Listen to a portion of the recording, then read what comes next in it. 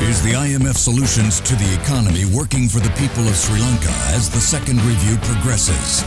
Battling it out at the public square. Representing the government, SLPP parliamentarian Professor Ranjith Bandara. And representing the opposition, SJB parliamentarian Harshana Rajakaruna. TPS, the public square. Wednesday, the 20th of September 2023 at 7 p.m.